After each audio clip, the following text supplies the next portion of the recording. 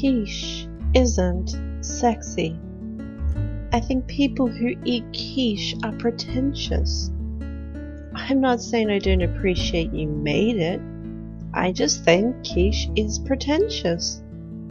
Quiche is just an egg trying to be more than breakfast. It's sweet that you had me over, tried to prepare me dinner. But this is a pretense of dinner, isn't it? This is basically an omelette disguising itself as a savory pie. It's the perky beginning to one's day when it should be the lusty end. When you think eggs, do you think romance?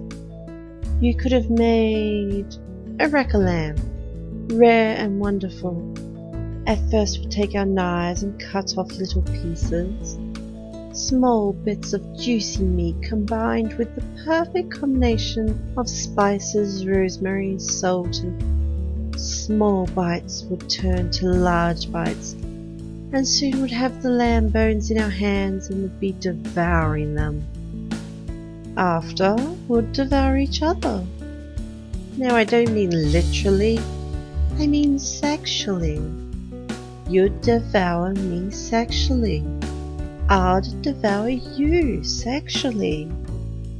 Yes, now that I'm saying it out loud, it does sound strange.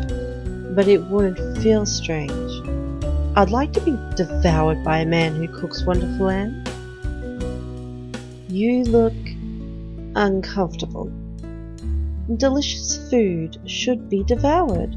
Great sex should be delicious and impossible not to devour. You can't help yourself. You feel almost starved. As you first approach each other, you try to start slow, but speed, a something drives you to go faster and faster, to rip the meat from the bones. You don't care if you get covered in juices and flesh because you're, well, you're not eating a quiche. A quiche is eaten in tiny, dainty bites. Do you want to take me in tiny, dainty bites? Do you want me to take you in tiny, dainty bites? One does not devour a quiche. And by serving me a quiche, you're telling me something. And that's why, as sweet as this gesture is, I have to tell you, it's not romantic.